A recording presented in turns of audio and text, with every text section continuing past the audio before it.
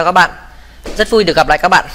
Trong ờ, video ngày hôm nay thì ờ, tôi sẽ hướng dẫn các bạn cái cách để mà chuyển đổi uh, các cái công tác uh, bê tông rồi công tác xây chát ốp lát vân vân trong một cái công trình để mà chuyển đổi cái độ sụt của vữa bê tông cũng như là chuyển đổi các cái uh, hạt các loại hạt như là đá trong bê tông hoặc là chúng ta chuyển đổi cái cát trong vữa xây Đấy, kích thước của đá của cát trong vữa trong vữa xây hoặc à, trong vữa bê tông với cả vữa xây Đấy thì ờ, đây là một trong những cái video à, trong loạt video mà ừ, để mà hướng dẫn về một loạt các cái định mức cũng như là thông tư mới mà bộ xây dựng ban hành.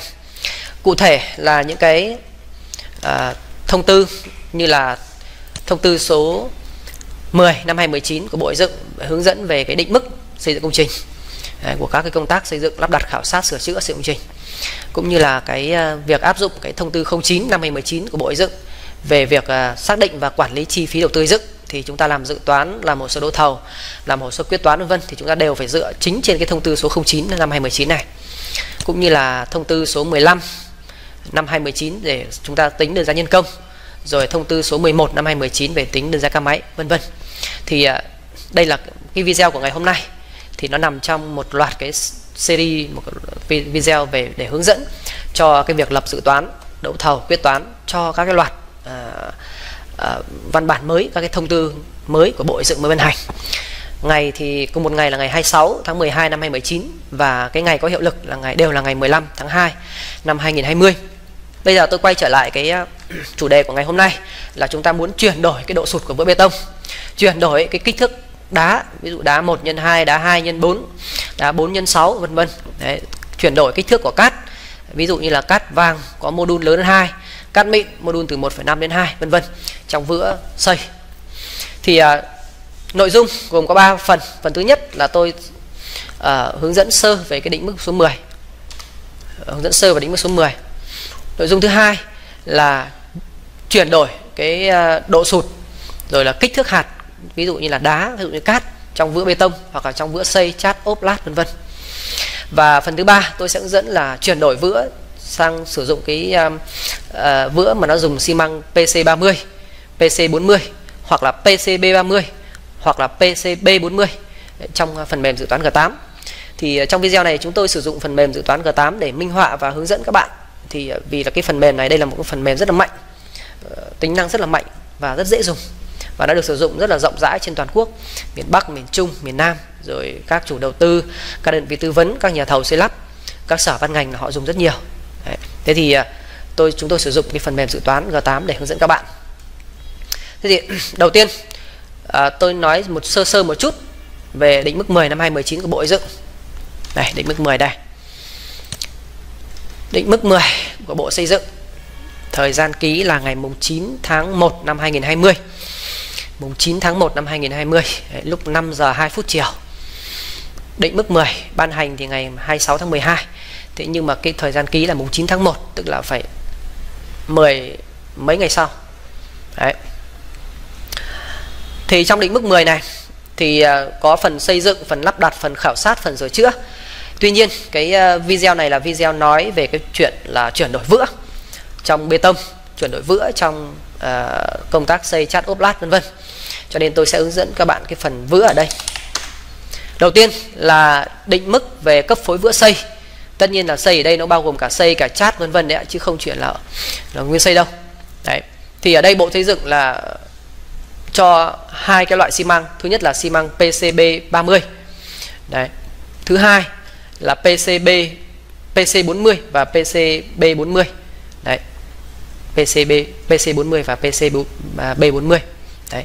Trong mỗi một loại vữa, trong mỗi một loại vữa mà sử dụng uh, xi măng um, PCB30 hoặc là PCB40 đấy thì Bộ Xây dựng có sự hướng dẫn chúng ta cái định mức mà vữa dùng các loại cát như sau, có ba loại cát. Thứ nhất là cát có mô đun ML lớn 2, là cát vàng đấy ạ. Đấy, cát vàng. Đấy. Cái thứ hai là cát mịn có kích thước là ML từ 1,5 đến 2 Đấy. Cái thứ ba là cát mịn có mô đun là kích thước là 0,7 đến 1,4 Đấy. Vữa thì có thể là vữa tam hợp, tam hợp, tam hợp. Đấy. hoặc là vữa có thể là vữa xi măng tuy nhiên thì à, tại thời điểm hiện nay là năm 2020 rồi thì cái vữa tam hợp có lẽ là rất ít khi dùng rất ít khi dùng cho nên thường là chúng ta sẽ sử dụng cái mục 1.2 là định mức cấp phối vữa xi măng dùng cát vàng hoặc cát mịn chứ chúng ta sẽ rất ít khi sử dụng đến cái vữa tam hợp. Đấy, thì chúng ta sẽ quan tâm đến chính là cái vữa xi măng này. Có mô đun lớn 2 này xi măng vữa xi măng mô đun từ 1,5 đến 2 này xi măng ờ, có mô đun từ 0,7 ờ, 1,4 này. Đấy và xi măng ở đây có thể là PCB30 hoặc là PC40 và PCB40 thì ở đây chúng ta lưu ý là cái vữa xi măng mà sử dụng uh, vữa mà sử dụng PC40 và PCB40 thì ở đây nó cùng chung một cái định mức. Đấy, cùng chung một định mức chứ không phải là hai định mức khác nhau. Chúng ta lưu ý như vậy. Đấy. đấy là vữa xây vữa bê tông. Vữa bê tông thì nằm ở trang số 438 đây thì chúng ta có phụ lục định mức cấp phối vữa bê tông. Đấy. Thì vữa bê tông nó nằm giải rác từ 100, 150, 200, 4, 300, 400 rồi đến tận 5 600 mác bê tông là như thế. Ở đây thì à, Bộ Xây dựng cũng hướng dẫn chúng ta sử dụng là xi măng PC B30 hoặc là PCB40. À, đây, chúng ta xem ở trang 446. Thì chúng ta có loại thứ hai là sử dụng là xi măng là PC40 và PCB40. Và lưu ý là cả hai cái PC40 và PCB40 thì là chung một cái định mức chứ không có khác với nhau cả. Đấy đấy thì đây là hai loại vữa mà tôi muốn uh, hướng dẫn các bạn bây giờ à, tôi sang chủ đề thứ hai là chủ đề về chuyển đổi cái à, độ sụt của vữa bê tông hoặc là chuyển đổi kích thước đá trong vữa bê tông kích thước cát đấy, trong vữa xây vữa chát như thế nào. Bây giờ chúng tôi sẽ sử dụng phần mềm mà dự toán G8 để mà minh họa cho cái việc này cho nó dễ. Thì uh, có lẽ để cho nó hiệu quả thì việc đầu tiên tôi cũng phải hướng dẫn các bạn sơ sơ là các bạn vào trợ giúp này cập nhật dự toán G8 này để nó cập nhật cái phiên bản mới nhất. Đây chẳng hạn ta bấm vào đây để nó tải cái phiên bản mới nhất. Tuy nhiên thì máy của tôi thì tôi đã cập nhật trước khi mà tôi làm video này rồi cho nên nó báo là không có cái bản nào mới hơn. Thế nếu mà các bạn chưa cập nhật thì nó sẽ tải về rồi nó sẽ cập nhật cho các bạn. Bước thứ hai là các bạn nên vào menu đơn giá tải về đơn giá trên mạng internet. Xong rồi chúng ta tích vào định mức bội dựng để chúng ta tải cái định mức bội dựng về. Đấy, hoặc là nếu tỉnh của chúng ta mà có đơn giá mới theo định mức 10 thì chúng ta tải lại tỉnh của chúng ta. Trong hợp này thì bây giờ là đầu tháng 3 năm 2020 cho nên là chưa có tỉnh nào ban hành cái đơn giá mới theo định mức 10 cả. Cho nên là tôi sử dụng định mức 10 của Bộ Dựng để mà hướng dẫn chúng ta. Nếu tỉnh của chúng ta có ban hành đơn giá tương ứng với định mức 10 Bộ Dựng thì cơ bản là chúng ta chọn các tỉnh tương ứng thôi. Tuy nhiên tôi cũng xin mỏng qua các bạn là trong thông tư số 09 năm 2019 của Bộ Xây dựng ban hành. Trong thông tư 09 này thì à, Bộ Xây dựng là không yêu cầu các tỉnh phải làm đơn giá nữa mà chỉ cần yêu cầu các tỉnh là làm cái à, công bố các cái giá thông báo vật liệu ví dụ như giá cát, giá đá, giá sỏi vân vân giá sắt thép rồi là đơn giá nhân công bậc 3, 4 bậc 5 trên 7 vân vân. Giá ca máy ủi, máy đào, máy xúc vân vân, rồi chỉ số giá dựng. Cái điều này thể hiện ở cái điều số 19 khoản 1. Ở trang số 18 Đây. điều 19 khoản 1 Đấy. là là sở xây dựng chỉ cần ban hành công bố các cái giá vật liệu này giá nhân công và giá máy chỉ số giá dựng chứ không cần không thấy nói gì đến cái việc là ban hành đơn giá dựng công trình. Phần xây dựng lắp đặt khảo sát sửa chữa vân vân. Cho nên là có khả năng cao có khả năng cao là sau này sẽ rất ít tỉnh ban hành cái đơn giá phần xây ban hành đã ban hành các cái bộ sách. Đơn giá phần xây dựng phần lắp đặt phần khảo sát phần sửa chữa phần công ích vân vân. Cho nên tôi quay trở lại cái này thì là có lẽ là chúng ta sẽ sử dụng chính là sử dụng cái định mức bộ dựng này là chính định mức 10 này là chính. Thì cách thứ nhất là chúng ta vào menu uh, đơn giá tải về đơn giá trên internet. Cách thứ hai là chúng ta bấm vào mục tỉnh thành phố ở dưới cùng này. Chúng chúng ta chọn mục thêm. Sau đó chúng ta chọn định mức bộ dựng. Sau đó chúng ta bấm chấp nhận để G8 tải về chúng ta cái định mức mới nhất nếu có của bộ dựng. Đấy. Đấy. Thế thì giả sử bây giờ chúng ta đã cập nhật phần mềm rồi. Đấy, và chúng ta đã tải về cái định mức bộ dựng mới nhất rồi. Sau đó thì chúng ta nhập các cái đầu việc ở đây. Thì đây là cái video hướng dẫn về chuyển đổi độ sụt cho nên tôi cũng không đi sâu ở việc tra công tác ở đây cũng như nhập khối lượng đây thì giả sử chúng ta đã có một công trình sẵn đây rồi và chúng ta có tổng cộng là một hai nghìn đầu việc chúng ta nhập hết rồi và khối lượng chúng ta có hết rồi. Nhưng phát sinh một vấn đề như thế này. Đây. Hiện nay cái vữa mà trong cái mã xây đá học này là AE 11112 này thì nó đang sử dụng cái vữa là đây. Mã B1212 là vữa xi măng PCB30 cát vàng đấy, Mark 50 Ờ, và xi măng, cát vàng Mark 50 và cát có, cát vàng ML lớn 2 thế thì, ở đây, tôi sẽ ẩn cái này xuống cho chúng ta dễ nhìn. Tôi sẽ hiện các cái à, cột liên quan đến vữa để chúng ta nhìn. Hiện cột. Ẩn cột định mức đi, không cần thiết. Rồi, bây giờ chúng ta thấy đây là cái mã vữa tương ứng với cái phụ lục mà trong thông tư 10 mà tôi vừa chỉ các bạn. Bây giờ chúng ta xem cái mã này là ứng với cái gì? Đây là mát 100 và cát là cát vàng module lớn 2 đây là vữa uh, dây. Bây giờ chúng ta xem vữa bê tông xem là với công trình này hiện nay đang là cái gì. Ví dụ đây chẳng hạn. Chúng ta xem là cái mã này là mã C2232 C2232 đây. Thì là bê tông Mark 150 đá 2 x 4 và độ sụt 2 x 4 đấy. thế như vậy là có công tác thì sử dụng đá 24 có công tác sử dụng đá 12 đấy 12 xem Mark uh, phụ lục uh, độ sụt bao nhiêu. Thì độ sụt là 2 x 4 đá 12 Mark 350 đấy thế như vậy tổng thể với công trình này thì chúng ta có một cái cái mẫu về uh, xây chat như sau. Đây hiện tại cái công trình hiện tại của chúng ta thì vữa bê tông chúng ta đang sử dụng cái độ sụt là 2 đến 4 cm. Đá có công tác sử dụng là đá 2 x 4, có công tác sử dụng đá 1 x 2. Đấy. Các công tác xây mã AE thì à, chúng ta đang sử dụng cắt vàng toàn bộ, cắt vàng là có module lớn 2. Đấy. Bây giờ uh, có một số tỉnh là họ không sử dụng cái uh, uh, độ sụt như này, đá như này, không sử dụng cát như thế này mà họ lại muốn sử dụng một cái độ sụt khác. Đấy. Thì theo đặc thù của tỉnh thì mỗi một tỉnh họ lại sử dụng một cái độ sụt của bê tông khác nhau sử dụng cái loại cát có kích thước của hạt ML lớn 2 hay là từ 1,5 đến 2 vân vân khác nhau. Đấy. thế bây giờ giả sử tôi muốn chuyển đổi tôi muốn chuyển đổi công trình này ở tỉnh của tôi tỉnh của tôi là chỉ sử dụng độ sụt 6 đến 8 và tỉnh của tôi vữa bê tông sử dụng đã, quy định là sử dụng đá 4 x 6 chẳng hạn như thế. Đấy, tỉnh của tôi từ xưa nay là nó quy định họ quy định như vậy. Thì bây giờ tôi sẽ phải làm như thế này.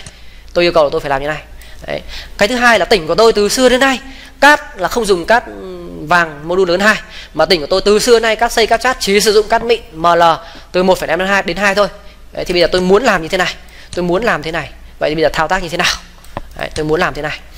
Tôi nhắc lại độ sụt bê tông 6 đến 8 đá 46 cát mịn 1,5 đến 2 để chúng ta làm như sau. Chúng ta vào menu công trình. Chuyển đổi phụ lục vữa. Đấy, chúng ta chọn menu tiếp theo là chuyển đổi độ sụt kích thước hạt của vữa. Thì phần mềm có ghi chú là chuyển đổi độ sụt này rồi là kích thước hạt mà hoặc đá cát của vữa. Rồi bây giờ chúng ta kích vào. Thế bây giờ chúng ta đang muốn độ sụt từ 6 đến 8 đá 46 đúng chưa rồi bây giờ chúng ta xem vữa chuyển đổi vữa bê tông này. Độ sụt từ 6 đến 8 này đúng chưa đá đá là 4 x 6 đây đá là 4 x 6 đây được chưa rồi đây là bê tông. Tiếp theo sang phần xây. Chát ốp lát chúng ta muốn sử dụng cát là cát mịn ml 1,5 đến 2 đây cát mịn 1,52 đây rồi. Tốt rồi. Đấy, tất nhiên là ngoài ra thì tôi cũng lưu thêm là trong phần mềm nó có thể hỗ trợ chúng ta là cát có thể là m, cát vàng ML đến 2 Đấy, cát vàng từ ờ, 1,5 đến 2 0,7 1,4 thì chúng ta chọn một trong ba cái này. Thì một trong ba cái này là trong thông tư 10 bộ dựng hướng dẫn là chỉ có một trong ba cái loại cát này thôi. Tương tự như vậy cái độ sụt của ờ, vữa bê tông thì độ sụt 0,5 đến 1 này từ 2 đến 4 cm này 4 đến 6, à, 6 đến 8 cm này. Đấy 10 đến 12 cm rồi vân vân đến tận là 18 đến 22 cm đấy kích thước của đá là có thể là 0,5 x 1 1 x 2 cm 2 x 4 hoặc là 4 x 6 cm thì đây là toàn bộ các kích thước đá mà trong lĩnh vực 10 của bộ dựng họ hướng dẫn chúng ta có thể sử dụng.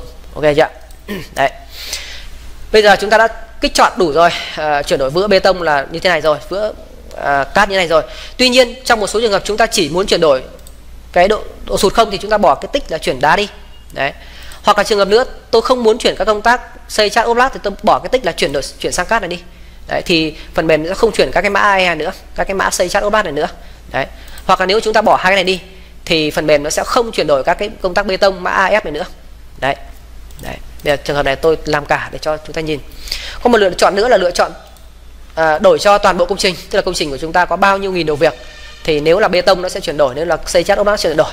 Còn trường hợp thứ hai là các công tác được chọn thì trước khi mà chúng ta vào menu công trình này chuyển đổi vữa ấy, thì chúng ta sẽ bôi đen bôi đen những cái dòng ví dụ chúng ta bôi đen từ dòng đến 13 đến dòng số 17 chẳng hạn thì nó sẽ chỉ nó chỉ uh, chuyển đổi cho những công tác mà nằm trong phạm vi từ dòng đến 13 đến 17 thôi. Đấy thì chúng ta có thể chọn một trong hai lựa chọn là toàn bộ công trình. Hoặc là các công tác được chọn tức là chúng ta chọn dòng đấy ạ chọn dòng nào thì nó sẽ chuyển đổi cho những dòng đó. Đấy bây giờ tôi giả sử tôi chọn toàn bộ công trình cho nhanh nhé. Chúng ta bấm chấp nhận. Rồi nó báo là đã chuyển đổi được độ sụt này kích thước hạt cho các của vữa cho các công tác trong công trình công tác nào đổi được mã thì ờ, đổi được ấy thì ờ, mã số chuyển sang màu xanh. Chúng ta thấy một loạt các cái mã đổi sang màu xanh. Và lưu ý, có cái mã này là không đổi mã AE 1125 này này. Mã 125 nó không đổi được. Lát nữa tôi giải thích sau. Và lưu ý là nếu như cái công tác nào nó không đổi được cái kích thước hạt đá, hạt cát, ví dụ như đá 46 vân vân đây, nếu nó không đổi được vân vân ấy, thì chúng ta dùng chức năng tìm kiếm và thay thế bằng cách là bấm phím, tổ phím là Ctrl F để mà tìm kiếm thay thế. Tuy nhiên trong hợp này là, thường là nó sẽ đổi được tất cả. Cả định mức lẫn tên tên của công tác ở đây cũng như là các cái định mức ở phía dưới này nó sẽ đổi được. Đây. Rồi bây giờ chúng ta kiểm tra. Đầu tiên chúng ta kiểm tra phần xây. Là chúng ta kiểm tra đề bài đã này. Phần xây chúng ta yêu cầu là cát mịn 1,5 đến 2 được chưa thì tất cả phần xây đây là nó chuyển đổi được trừ hai cái mã mắc 125 này. Tôi sẽ giải thích tại sao. Bây giờ chúng ta kiểm tra này nháy phải này. Chúng ta chọn chuyển đổi vữa khác này. Chúng ta xem cái vữa của nó nó đổi cho chúng ta là B1 ba con hai liền. Đây B1 ba con hai đây. Thì nó chính là giữ gì ạ? Mark là mark 50 đúng rồi mark 50 chúng ta yêu cầu là cát mịn từ 1,5 đến 2 thì đây chính là 1,5 đến 2 rồi. Được chưa tương tự như vậy chúng ta xem là mã ờ, uh, B1223 xem là cái gì đây? 1233 đây. Đúng chưa thì cát là 1,5 đến 2 mắc là 75 đây mark 75 đúng rồi mark 75 đúng rồi. À, ờ, B1224 là mark 100 đúng chưa đây B1224 mark 100 uh, module cát là kích thước hạt cát ấy, mà là mà là 1,5 đến 2 đấy 1,5 đến 2 đây chúng ta xem đấy cát 1,5 đến 2 đúng chưa cát 1,5 đến 2 đấy. Được chưa thế nhận được như vậy cái định mức này cái cát này là tương ứng với cả cái ờ, module từ 1,5 đến 2 đấy. Bây giờ chúng ta kiểm tra đến phần uh, tại sao cái phần mã AE này nó lại không chuyển đổi được. Đây chúng ta kiểm tra. chúng ta yêu cầu nó là cát mịn từ 1,5 đến 2 thế nhưng mà nó vẫn chơi ra nó không chịu chuyển cho chúng ta và nó vẫn để chúng ta là cát vàng ML lớn 2 tại sao thế? Bây giờ chúng ta để ý này. Cái vữa xi măng đây là vữa mác 125 vữa mác 125 vậy bây giờ chúng ta phải kiểm tra xem là với cát mịn có uh, có kích thước là 1,5 đến 2 thì xem nó thế nào. À, bây giờ chúng ta đóng cái này lại. Chúng ta kiểm tra xem cát mịn 1,5 đến 2 như nào. Chúng ta dở lại cái định mức 10 định mức 10 thì phụ lục vữa xây nó ở trang số 287 trở đi. Đây vữa xây là 287 cái phần mà liên quan đến chúng ta 289 đây chúng ta kiểm tra này. Cát của chúng ta là à, vữa vữa xây của chúng ta đang chọn là vữa xi măng. Được chưa ạ? Cát của chúng ta đang muốn chuyển đổi là cát mịn có mô đun từ 1,5 đến 2 chúng ta thấy ạ. Nó chỉ có mát 25 50 75 và 100 hết phía dưới là cho cái kích thước khác như vậy là với cái hạt cát mà kích thước nhỏ như này thì mắc tối đa nó chỉ đạt được 100 thôi. Trong khi đó chỉ có cát vàng ML lớn 2 thì mới đạt được cái cường độ của vữa là 125 Đấy. cho nên trong hợp này vì là cái 1,5 đến 2 nó không thể đạt được 125 mắc 125 cho nên phần mềm nó cũng chịu. Nó không có cái loại nào tương ứng nó không có cái cắt mịn 1,52 mà tương ứng cho mắc 125 cả. Cho nên nó bắt buộc phải để chúng ta như nguyên trạng là gì ạ? Là nó phải sử dụng cái mã là B1215 B1215 ở đây là mắc 125 tương ứng với cả cát vàng ML lớn 2 đấy là nguyên nhân của nó. Đấy, công tác này cũng tương tự.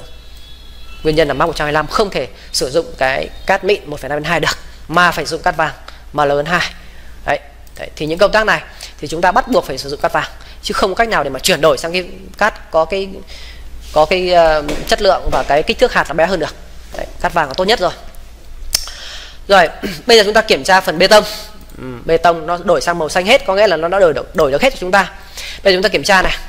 Yêu cầu của chúng ta là gì ạ? Bê tông là độ sụt từ 6 đến 8 đá là phải là 46 chúng ta kiểm tra nhá. Kiểm tra chú đầu tiên. Đây.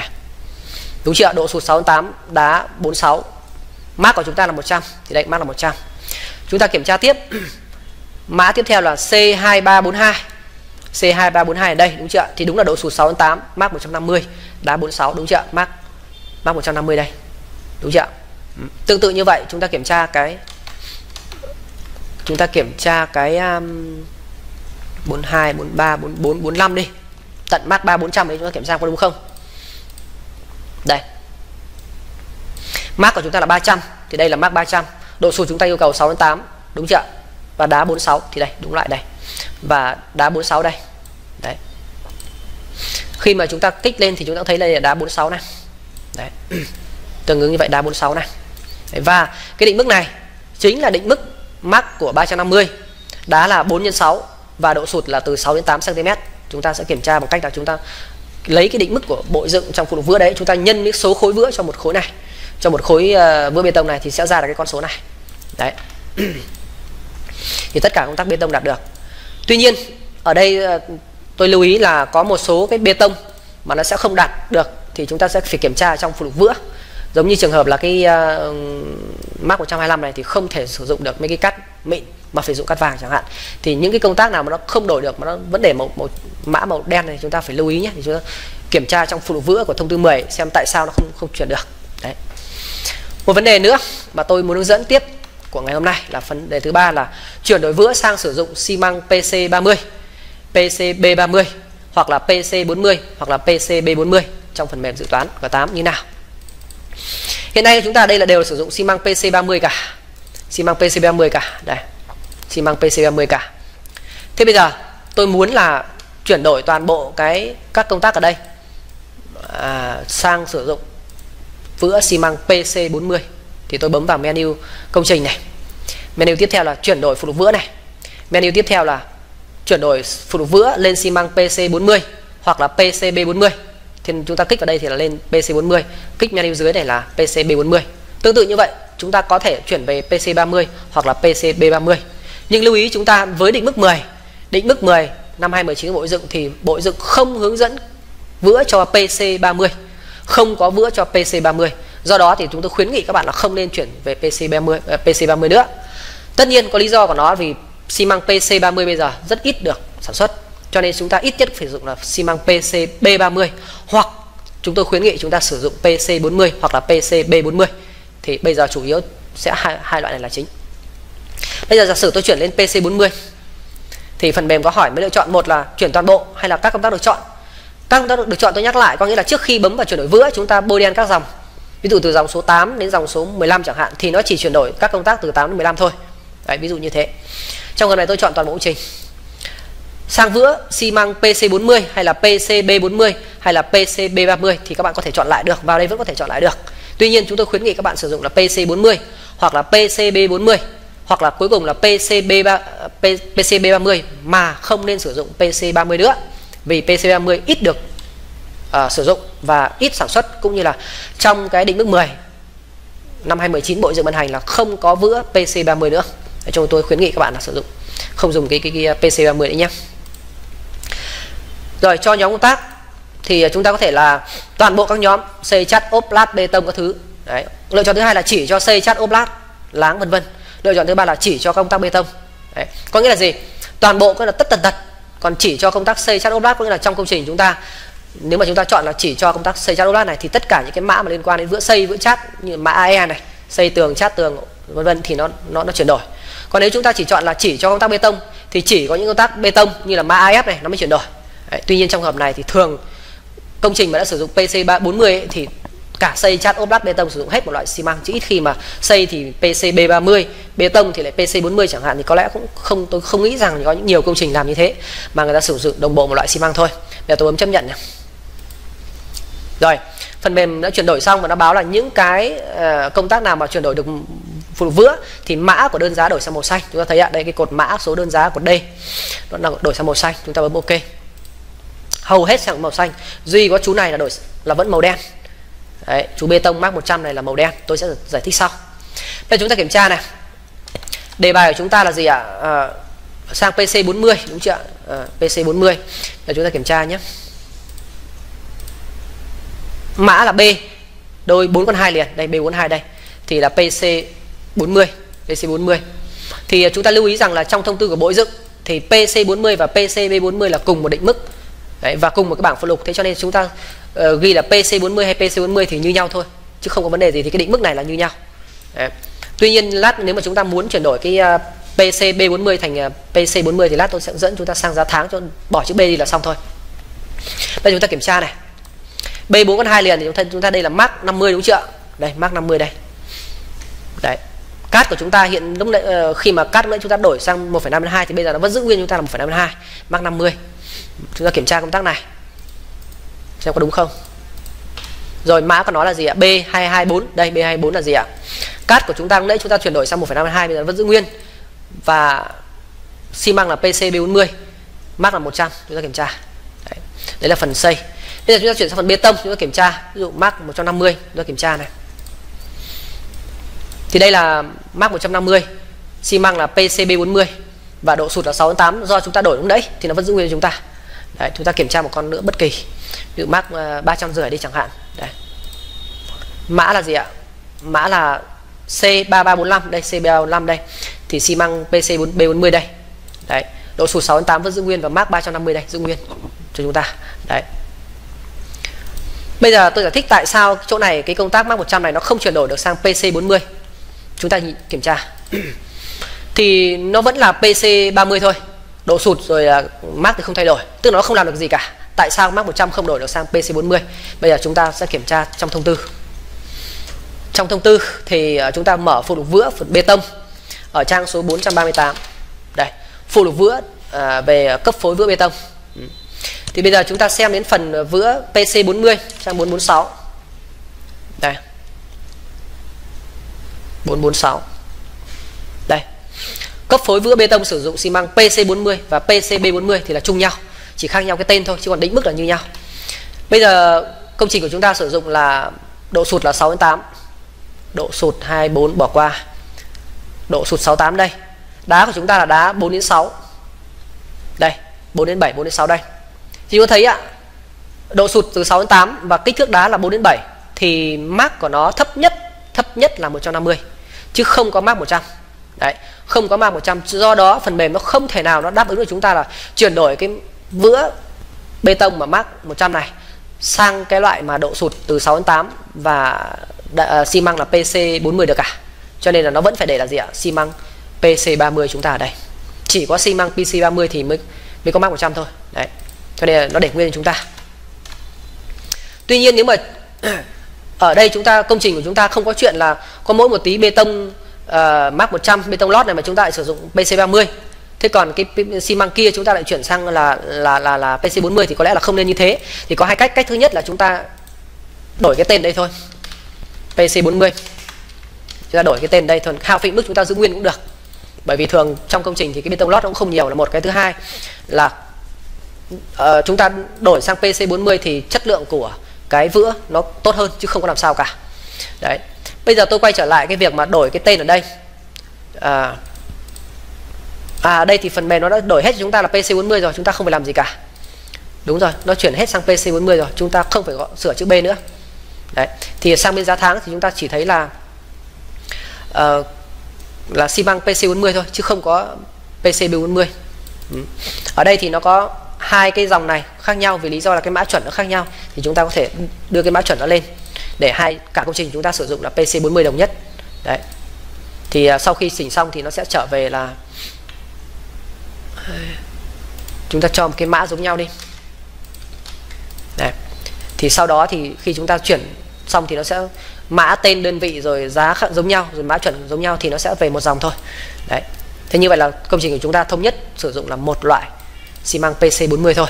Dù là cái mác của nó là mác 100 ở đây thì vẫn là chúng ta sử dụng PC40 định mức thì là định mức của PC30 nhưng mà cái xi măng chúng ta sử dụng PC40 chứ không đi mua mấy bao à, PC30 về sử dụng cho bê tông lót, xong rồi phần còn lại hàng tấn, bao nhiêu tấn đấy là sử dụng B40 thì có lẽ là cũng cũng có người làm nhưng mà chắc là rất là hiếm, chứ không nhiều lắm đâu. Tôi tôi khuyến nghị là chúng ta đổi cái tên là xong thôi. Và tất nhiên là ai đó có thể tính được mắc 100 mà sử dụng PCB PC40 thì các bạn có thể tính và giải trình sau đó các bạn điều chỉnh các cái uh, hao phí mức của xi măng của cát của đá của nước ở đây thì tùy các bạn các bạn có thể điều chỉnh ở đây tùy các bạn. Nhưng tôi tôi không khuyến nghị cái việc đó lắm. Bởi vì việc đấy giải trình rất là phức tạp mà nó mất thời gian ra khối lượng thì không được nhiều. Đó. Đấy. như vậy là uh, trong thời gian vừa qua tôi đã hướng dẫn các bạn cái việc mấy việc. Việc thứ nhất là gì ạ? Hướng dẫn sơ về các cái vữa trong lĩnh vực 10 hướng dẫn chúng ta về chuyển đổi độ sụt vữa bê tông chuyển đổi cái kích thước hạt đá trong vữa bê tông, kích thước hạt là cát trong vữa xây vữa chát vữa ốp lát, vân vân. Cũng như là hướng dẫn chúng ta chuyển đổi sang xi măng PC40 PCB40 hoặc là PC3 B30 Đấy. cái phần hướng dẫn của chúng tôi thì à, ở đây thì à, tạm thời là kết thúc ở đây. Một lần nữa, xin chân thành cảm ơn các bạn và tôi rất mong muốn, rất mong muốn ạ à, được gặp lại các bạn ở trong những cái video sau.